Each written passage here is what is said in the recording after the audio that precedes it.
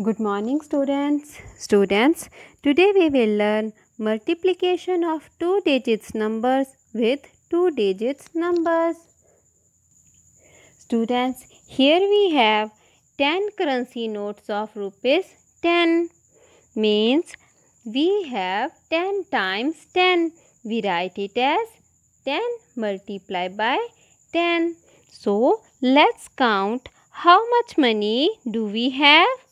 We have 10, 20, 30, 40, 50, 60, 70, 80, 90, 100.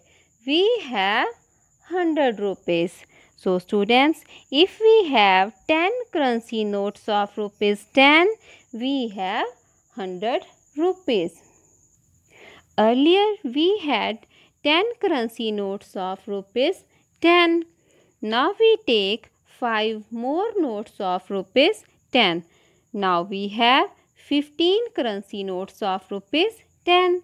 So we have 15 times 10 means 15 multiplied by 10. Here we have 10, 20. Let's count students. Count with me. 10, 20, 30, 40, 50, 60, 70, 80, 90, 100, 110, 120, 130, 140, 150 rupees. Students, if we have 15 currency notes of rupees 10, we have 150 rupees. Now we add 5 more currency note notes in 15 currency notes of rupees 10. Our notes increase to 20.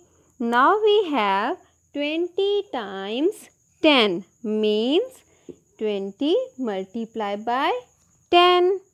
Here we have, let's count students, 10, 20, 30, 40, 50, 60, 70, 80, 90, 100.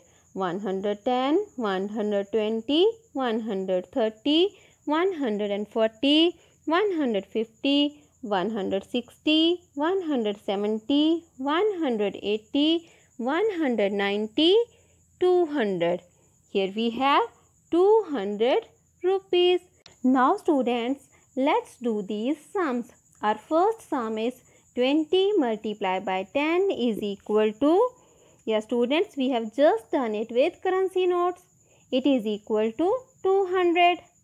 Our second sum is 30 multiplied by 10 is equal to, it is equal to 300. And third sum is 40 multiplied by 10 is equal to, it is equal to 400. Now students look carefully. 20 multiplied by 10 is equal to 200. 30 multiplied by 10 is equal to 300. 40 multiplied by 10 is equal to 400.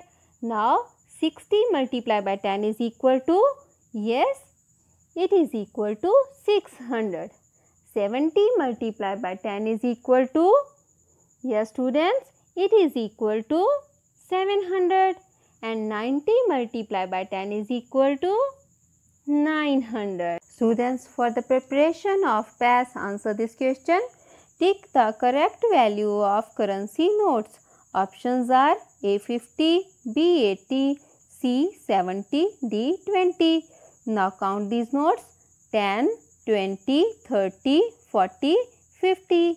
So the value of these currency notes is 50.